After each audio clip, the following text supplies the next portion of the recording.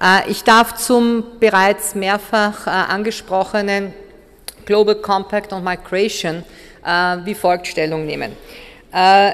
Es wurde am 13. Juli in New York der technisch verhandelte Text, der auf Beamtenebene mit in, unter allen damals mitverhandelten Staaten waren eben verschiedenste Ressorts jeweils eingebunden, wurde von der europäischen Delegation bei den Vereinten Nationen wie folgt damals Stellung genommen. Wir haben einen nicht perfekten Text, den wir nun nach den technischen Verhandlungen unseren Regierungen vorlegen. Das heißt, es war klar, dass im Laufe des Spätsommers, Herbstes eine politische Debatte beginnen würde. Diese politische Debatte haben wir in Österreich seit Mitte August, so war ich zumindest involviert, geführt und diese politische Debatte hat zum Ministerratsvortrag letzte Woche geführt, den wir im Einvernehmen mit eben den zuständigen Ressorts wie folgt vorgetragen haben.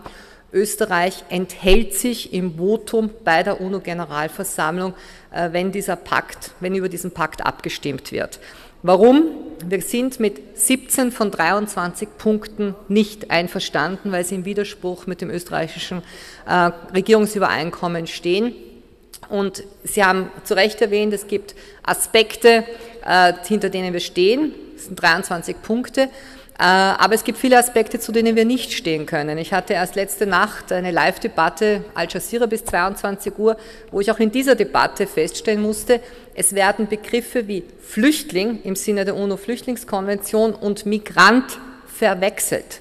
Wir haben einen UN-Compact on Refugees für Flüchtlinge und wir haben einen UN-Compact für Migration.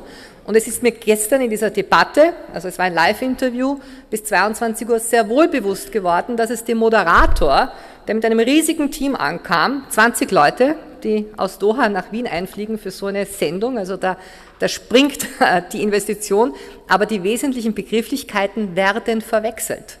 Und wir sind mit vielen Punkten dieses Kompakts nicht einverstanden und es ist nicht österreichspezifisch, dass hier eine Debatte geführt wurde. Wir haben diese Debatte abgeschlossen mit dem Ministerratsvortrag.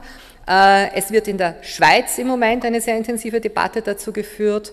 Äh, es wird auch in Deutschland, also wenn Sie verfolgen, wie es wurde zwar CSU, CDU und so weiter erwähnt, aber die öffentliche Debatte findet statt und wird wahrscheinlich auch in den Deutschen Bundestag getragen werden. Äh, und daher im Sinne der unserer aktiven Beteiligung in der UNO können wir uns letztendlich bei vielen dieser Themen einbringen über andere Konventionen, aber nicht in diesem Fall, wo es einfach in Richtung einer Fortentwicklung von Völkerrecht geht, ähm, die wir nicht mittragen. Ich danke Ihnen.